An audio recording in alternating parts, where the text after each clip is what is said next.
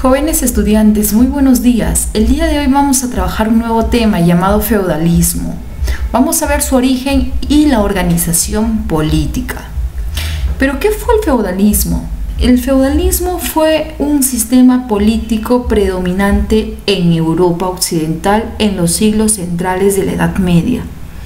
Se desarrolló básicamente entre los siglos X y XI.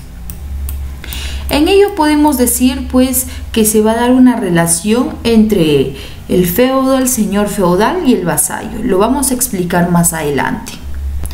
¿Cuál es el origen del feudalismo?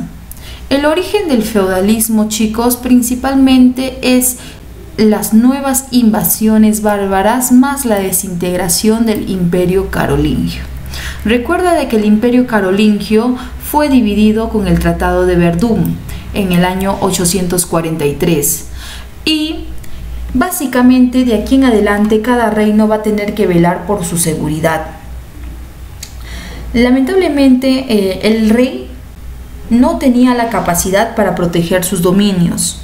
¿no? Básicamente va a ser incapaz de enfrentarse a estas nuevas oleadas de invasiones de escandinavos, vikingos y árabes. Y eh, vamos a ver nosotros aquí la imagen del señor feudal, quienes eran los dueños de las grandes cantidades de tierra y van a apoyar al rey para que no ingresen al territorio. ¿Cómo? ¿De qué manera brindó su apoyo? Entre ellos, el señor feudal va a hacer la construcción de fortalezas, ¿ya? De murallas, castillos para proteger el, del ingreso de las invasiones que el rey no podía controlar. Ante esta situación, la población se va a sentir mucho más segura ante el señor feudal. El señor feudal básicamente va a ganar demasiada popularidad en esta época. ¿Por qué? Porque básicamente va a dar protección a todas las personas pues que se sentían desprotegidas. Para ello tenemos que explicar la organización política durante el feudalismo. A ver, ¿qué era el feudo? El feudo, chicos, podía ser tierra, podía ser algún otro tipo de bien, pero principalmente el feudo era la tierra. Y el señor feudal pues era el dueño de estas tierras, ¿no? Era la persona más poderosa en aquel entonces. Podríamos decir también que el señor feudal era, eh, digámoslo así, el hombre que tenía demasiado prestigio y el, gran terrateniente de la época.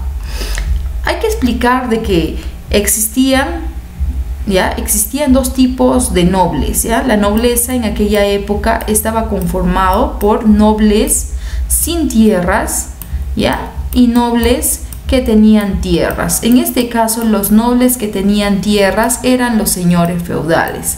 Sin embargo, los nobles que no tenían tierras, los nobles sin tierras, básicamente se van a convertir en vasallos. Y el vasallo era la persona que juraba fidelidad al señor feudal. ¿En cambio de qué? En cambio de su protección. Es por ello que tú puedes ver en este esquemita que el señor feudal ofrece al vasallo protección económica y militar. Y a cambio de ello, el vasallo va a ofrecerle consejos militares, pago de impuestos, trabajo y ayuda en general y le va a jurar fidelidad, ¿no? Eso es lo más importante entre esta relación entre miembros de la nobleza. El vasallo, para que jure fidelidad al señor feudal, uno tenía que buscar pues a su señor feudal, ¿no? Y eh, este va a jurar fidelidad a través de esta ceremonia llamada homenaje. El homenaje, chicos, va a ser el tipo de ceremonia en el cual el vasallo jura fidelidad al señor feudal y realiza pues el osculum. El osculum, digámoslo así, es el beso en la, en la mejilla, como ustedes pueden ver aquí, mire, observen aquí. Esto es en la ceremonia del homenaje, en la cual pues el señor feudal en reconocimiento, como reconoce, digámoslo así, al vasallo, como su vasallo, agarrándolo, tomándolo de las manos, al cual se llamó Inmixtum del Manum. Entonces, en esta ceremonia del homenaje pueden ustedes visualizarlo en esta imagen en la cual el vasallo le jura fidelidad y el señor feudal acepta ello, lo reconoce como vasallo y se dan el osculum y el inmixtum del manum. Ahora, Luego de básicamente haber sido reconocido como vasallo, se da la segunda ceremonia que es la investidura. En la investidura vamos a ver de cómo el señor feudal inviste, otorga autoridad al vasallo. Es por ello que dice que consistía en una entrega simbólica de un bien concedido por el señor feudal a su vasallo. Muchas veces ese bien o esa entrega simbólica podían ser objetos como castillos, tierras, ¿no? O de repente algún título como duque, conde, etc. Entonces, en la investidura, básicamente el señor feudal le da en agradecimiento un bien, ¿no? Le entrega un bien, el cual representa que, por ejemplo, imagínate si el señor feudal le da un puñado de tierra. Esto significaba, ¿no? Este, esta entrega simbólica significaba de que el señor feudal le estaba entregando tierras a su vasallo. ¿Para qué? Para que éste pues se encargue de básicamente de supervisar el, ¿no? supervisar, se encargue de, de administrar el territorio del señor feudal. Existe también una tercera ceremonia llamada espaldarazo el espaldarazo era la ceremonia en la cual un guerrero podía convertirse en un caballero. Este tipo de ceremonia es cuando el señor feudal otorga una, espada en la cual tiene como significado de que lo está ascendiendo de rango, ¿no? Ahora, de lo que era un guerrero, ahora ya no es un guerrero, ahora es un caballero, como por ejemplo en esta imagen que el señor le está dando, el señor feudal le está dando una espada y el guerrero pues básicamente en honor se está arrodillando y se está convirtiendo en caballero, ¿no? Entonces está subiendo de rango. Estas serían las ceremonias que se daban eh, durante aquella época, durante la organización política, en la relación feudo-vasallática. A ver, la organización económica. Aquí en la organización económica nosotros vamos a ver de que eh, estuvo basada principalmente en la agricultura, en la ganadería y en la explotación de bosques. En la agricultura vamos a ver de cómo eh, se va a traer como consecuencia la ruralización en Europa. ¿Por qué? Porque la agricultura va a ser la actividad económica más practicada y se va a dejar en segundo lado la actividad comercial. A esto, eh, en esto vamos a ver, por ejemplo, eh, nuevas innovaciones tecnológicas, ¿no? porque recuerda que se da prioridad a la agricultura y por ende va a haber mejoras tecnológicas.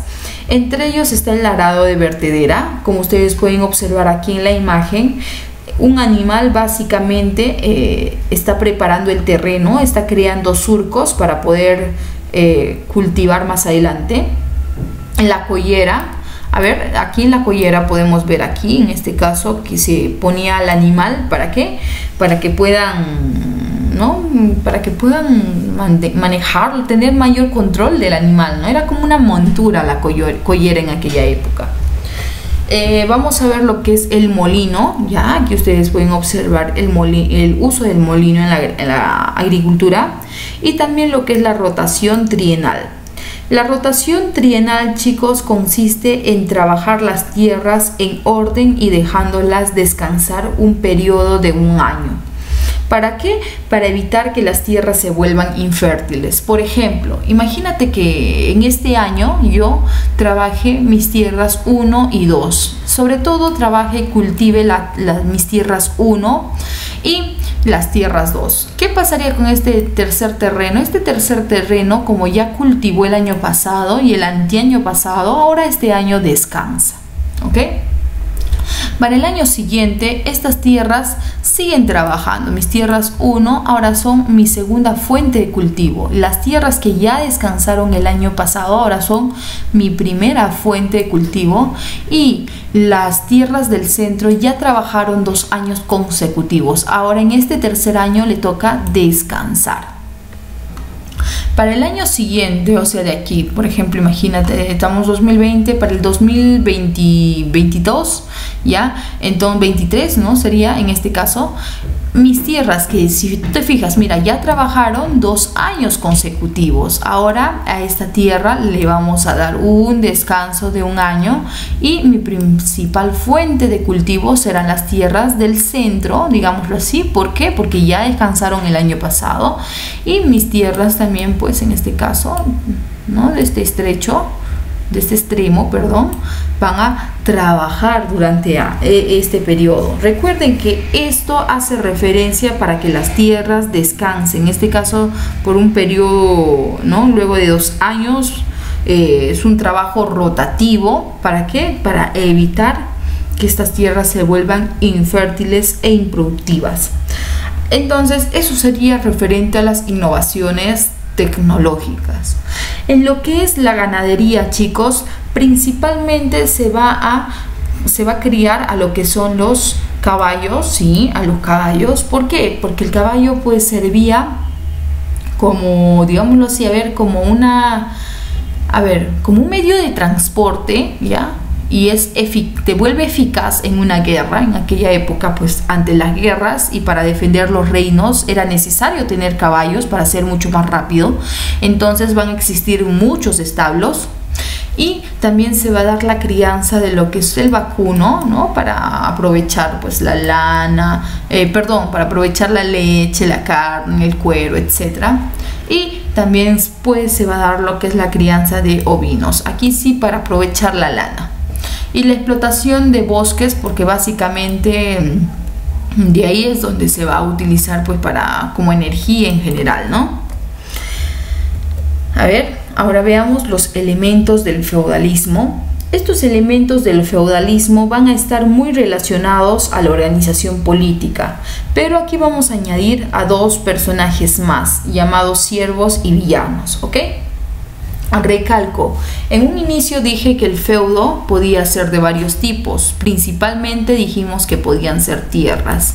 Sin embargo, existían otros tipos de feudos, como el feudo de altar, que era un bien religioso, como el feudo de cargo, que era un feudo por honores, o como los mansos, que eran tierras que se van a otorgar a siervos y villanos, los feudos de bolsa, que era que simbolizaba la cantidad de dinero, ¿Ya? Entonces, recuerda que el feudo existía en diversos tipos, pero principalmente era la tierra. Entonces, el señor feudal que tenga, digámoslo así, un feudo mucho más grande, ¿no? Eh, que sea el dueño de las de más grandes cantidades de tierra, iba a ser el que más iba a obtener poder, ¿no? Digámoslo así. Entonces, generalmente recuerda que el señor feudal era el noble con tierras y estos eran guerreros porque de alguna otra manera eh, demuestra pues que su posición, ya, uno por su posición social y otra por su jerarquía también, ¿no? Su jerarquía en el sistema feudal. Entonces, estos señores feudales básicamente eh, eran las personas más pudientes en aquella época, ¿no? Las personas que ostentaban el poder. Recuerda de que el vasallo le jura fidelidad al señor feudal en cambio de protección, ¿ya? y eh, recuerda de que eh, este a cambio pues le brinda el apoyo militar, le brinda su apoyo, su fidelidad, ¿no? No agredir a su amo, proteger sus bienes, no atentar contra la vida del señor feudal en general. Y le da ayuda militar, vigilancia, consejos, etc. Y eso ya mencionamos este punto. Pero tenemos dentro de las clases más bajas a los siervos y villanos. El siervo, chicos, es el campesino no libre, ¿ya? Es decir, tiene que trabajar para un feudo, ¿ya? Y él si quiere irse no puede hacerlo, ¿ok? ¿Y qué ocurriría si su dueño muere? Entonces eh, lo utilizan como un objeto, como una propiedad, ¿no? Entonces pasaría a otra persona, incluyendo con los demás objetos. Entonces el siervo no era libre, pero recibía mansos. Recuerda que recibía los, los, mansos, que eran las tierras, pues que daba el señor feudal. Y estos mansos servían para cultivarlos para su subsistencia, ¿no? Para para su comida, para que cultiven pues para su día a día. El siervo en conclusión no era libre, eran campesinos no libres, mientras que los villanos sí eran campesinos libres. Recuerda que villano en aquella época no se le llamaba porque era malo, sino porque estos vivían en villas, ¿ok? Eran campesinos libres, pero eran libres, digámoslo así, eh, supuestamente, porque en realidad estos no podían dejar su trabajo, porque recuerda que el señor feudal también le otorgaba mansos y era mejor trabajar, ¿no? Por un manso y tener la protección del señor feudal a no tener nada. Entonces, por ello va a trabajar de manera voluntaria dentro del feudo. Dentro del feudo, chicos, es decir, dentro de las tierras del señor feudal, estos tantos siervos y villanos básicamente van a tener que pagar, por ejemplo, impuestos al señor feudal, como por ejemplo la corbea. La corbea era trabajar las tierras del señor feudal.